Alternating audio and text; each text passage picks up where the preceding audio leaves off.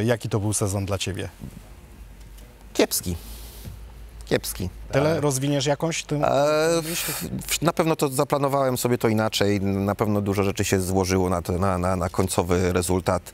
E, na pewno przed sezonem nie, nie spodziewałem się, że będę drżał o utrzymanie na sam koniec, e, bo, bo planowaliśmy to 9-10, jest to 13. Nie zrealizowaliśmy celów.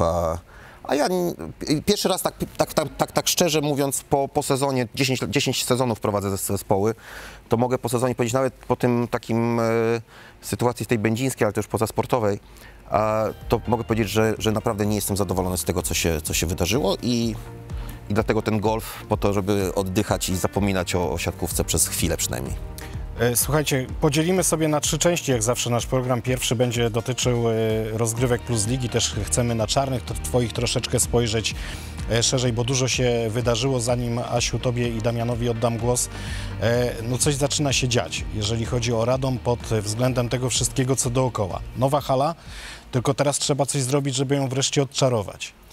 No na pewno nie jest to powód do dumy i bardzo mi źle było z tym, że nie możemy tam wygrać, bo graliśmy zdecydowanie lepiej na wyjazdach niż, niż a już niedługo nowy stadion. Ale powiedz, e, Kuba, e, z Twojej perspektywy trenera, ciężko jest się tak przestawić? Rzeczywiście to jest trudne dla zawodników, bo przecież nawet jak jeździcie po Polsce, to, to wchodzicie do takich obiektów zbliżonych do tego, który jest w Radomiu często. Z perspektywy czasu to nie wiem, czy do końca bym, bym ch- chciał, żeby ten styczeń to był to, ten moment na przenoszenie się, bo myśmy praktycznie nie, nie, nie trenowali tam w ogóle, a przeszliśmy na, na bardzo ważny mecz z Suwałkami i później taka...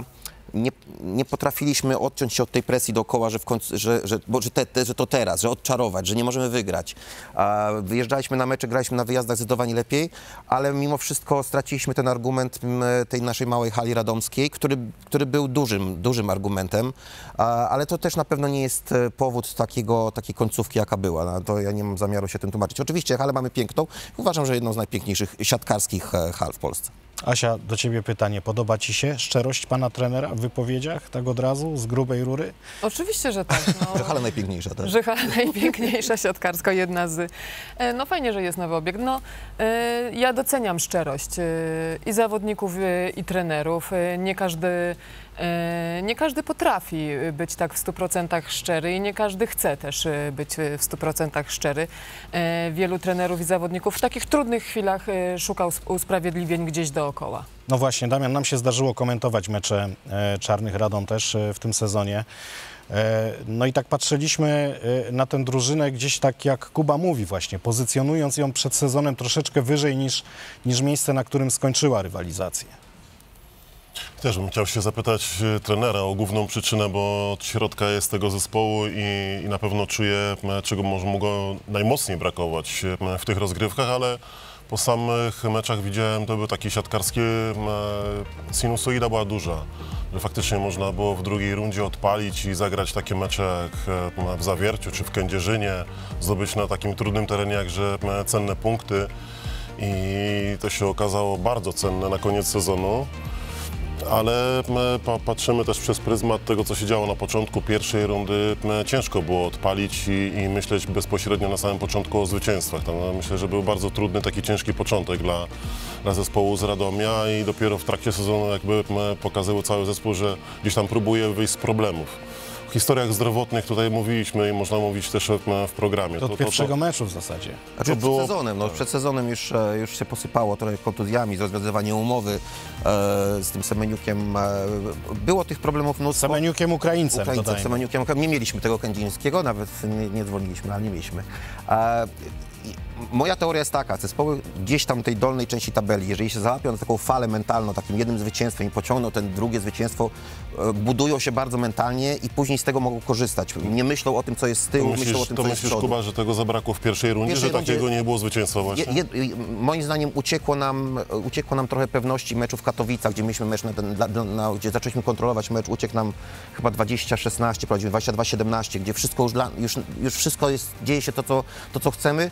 Później dostajemy e, od Olsztyna w, głowę także 25-23, 25-23, 25-23, no i zaczynają się, zaczynają się ne- nerwy. To jest to, że jeśli się załapiesz, i to też tak miałem z zespołami różni, te zesp- można też pokazywać na przykład Katowice, jak się załapiesz na taką dobrą falę, coś uciułasz i myślisz już do przodu, nie myślisz o tym, co się wydarzy, jak przegrasz, a u nas problem, i to jest, ja mam do siebie duży żal, nie, nie byłem w stanie odciąć zespołu od tych negatywnych emocji dookoła.